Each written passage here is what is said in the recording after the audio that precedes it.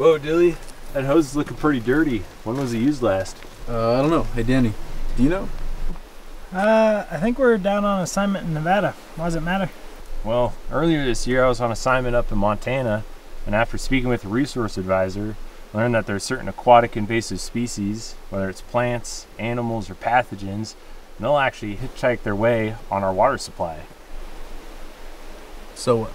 So, once they get established in different water sources, they can actually ruin the entire ecosystem there.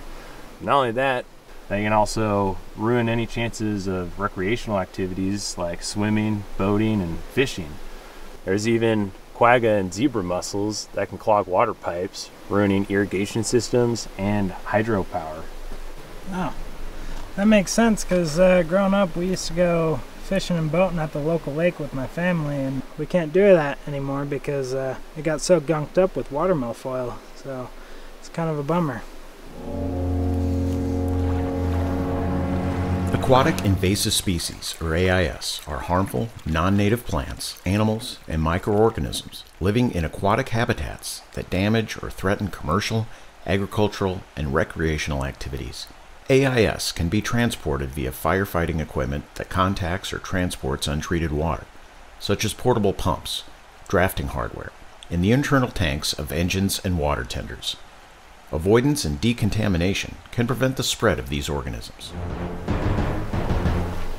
That's terrible.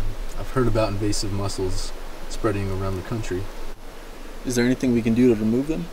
You know, that resource advisor was talking about how once they're introduced, they're almost impossible to eradicate from that water source.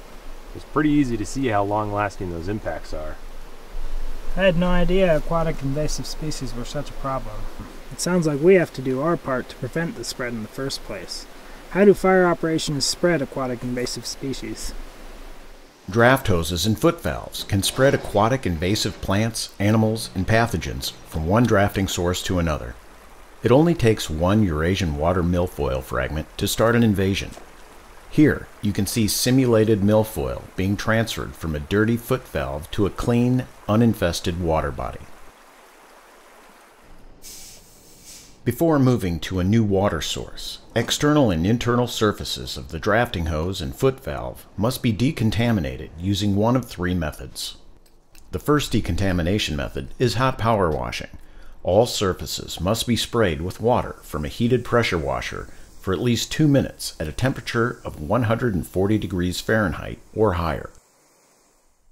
The second decontamination method is sun drying, which is very effective after mud or plant matter is removed from draft hoses and foot valves.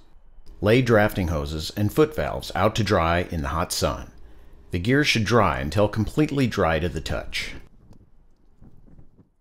Chemical decontamination is a third method.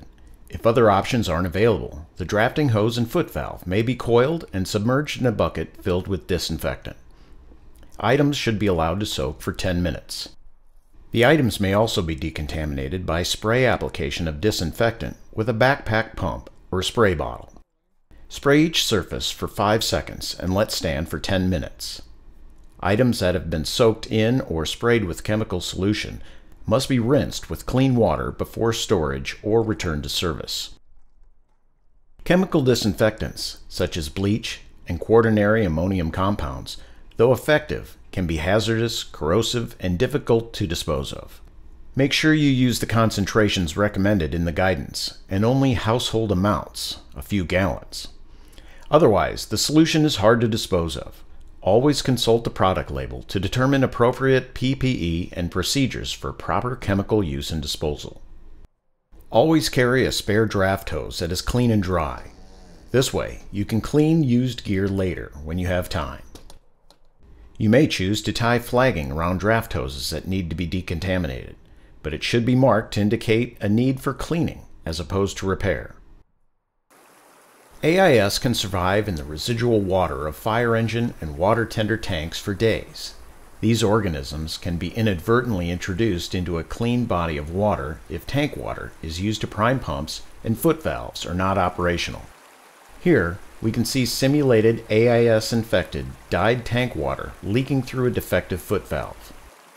Always prime the pump with water from the drafting source. Do not use water from the potentially infected engine tank. If you prime from source water, there is no need to ever clean any internal engine or tender tank, provided your foot valve is operating properly. Fill the drafting hose with a bucket of water from your source, then start the pump. Additionally, don't leave the draft hose full with foot valve engaged and submerged in a water source when not pumping. As extra protection against tank leakage, screw foot valves snugly onto draft hoses to ensure they are fully sealed. Rest the foot valve on a shovel head before placing it in the water source for sediment-free operation. This reduces potential for sucking up AIS. AIS surviving in the residual water of engine and tender tanks can be unintentionally introduced to a clean lake, river, or stream by allowing tank water to overflow into the drafting source. Care should be taken to prevent overfilling and driving away on steep inclines, as this can have the same result. Don't overfill your engine tank. Have a crew member monitor how full your tank is to prevent overfilling or spilling when you pull away from a drafting source. Okay, you can cut it.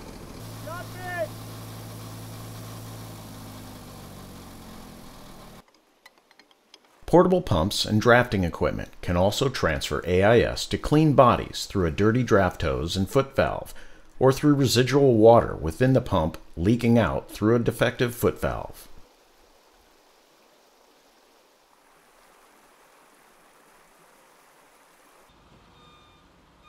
Use a single pump to top fill multiple engines and tenders.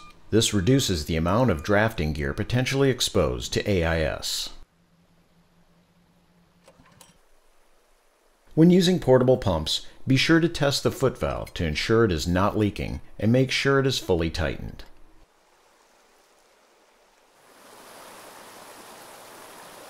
Remove drain plugs from portable pumps to empty water from the pump housing before moving to a new water source.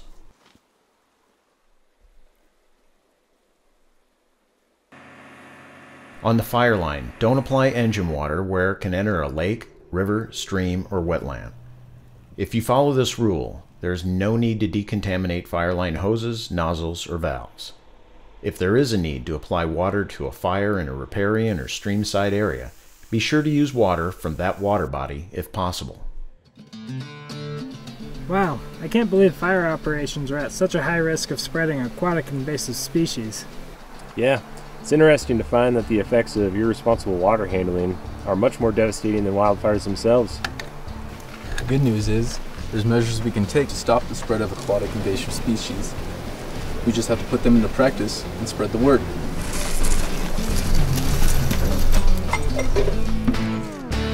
The Guide to Preventing Aquatic Invasive Species Transport by Wildland Fire Operations is available to help wildland firefighters avoid the spread of AIS.